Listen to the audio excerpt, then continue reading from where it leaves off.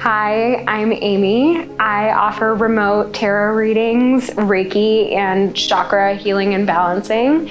They are just as effective as in person because I can tap into your energy from afar and I'm able to read how you are feeling.